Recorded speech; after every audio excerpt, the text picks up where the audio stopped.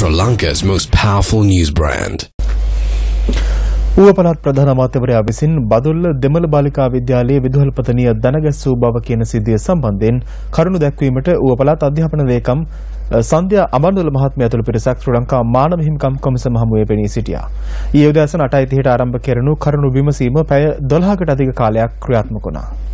ඌව පළාත් අධ්‍යාපන ලේකම්වරිය මෙන්ම පළාත් අධ්‍යාපන අධ්‍යක්ෂකවරයා, කලාප අධ්‍යාපන අධ්‍යක්ෂකවරයා, බදුල්ල පොලිස් ස්ථානාධිපතිවරයා සහ පළාත් සභා සේවකයින් තිදෙනෙකුද කොමිසම හමුවට කැඳවා තිබුණා.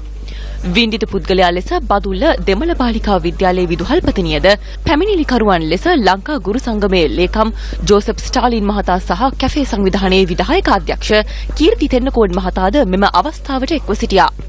සිදිය සම්බන්ධයෙන් චෝදනා ලැබූ ඌව පළාත් ප්‍රධාන අමාත්‍ය චාමර සම්පත් දසනායක මහතා පසුගියදා අධිකරණය හමුවට ඉදිරිපත් කිරීමෙන් අනතුරුව රුපියල් ලක්ෂ දෙකක ශරීර ඇපයක් මත මුදා හැරීමට බදුල්ල මහේස්ත්‍රාත්වරයා නියෝග කළා.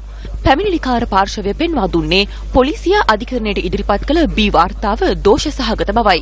පොලිසිය සම්පූර්ණයෙන්ම බී වාර්තාවක් ඉදිරිපත් කරලා තියෙන්නේ සම්පූර්ණයෙන්ම මහමැතිවරයා නිදහස් වෙන ආකාරයෙන් ඉතින් අපි මානව හිමිකම් කොමිසමෙන් දැඩිව way මේ බී වාර්තාව සංශෝධනය යුතුයි කියලා මෙතනදී අපිට ඉතාම පැහැදිලිවුණු කාරණයක් තමයි පෞද්ගලික 12 වෙනිදා පොලිසිය ගිහිල්ලා මේ විදුහල්පතිනියගෙන් ප්‍රකාශයක් ගන්නවා.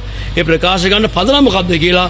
නමුත් ඒ පදනම මොකද්ද කියලා පොලිසිය අද දිනේ කියන්න අසමත් වුණා මේ මානව හිමිකම් කොමිසම් සභාවේදී. අර්බුදකාරී ස්ථාන ගණනාවක් මේ විමර්ශනය තුල හෙළිදරව් වුණා.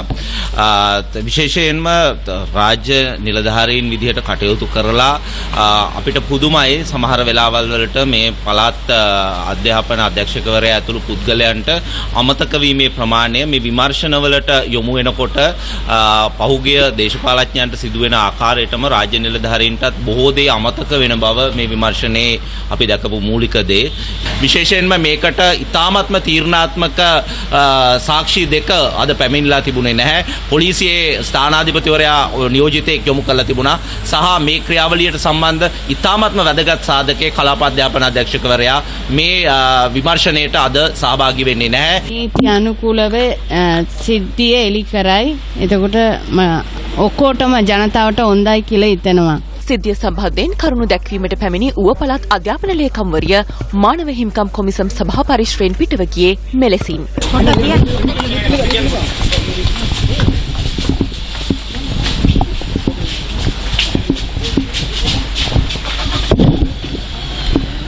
අපිට ප්‍රකාශ කරන්න බෑද මේ යන්න බෑද අපිට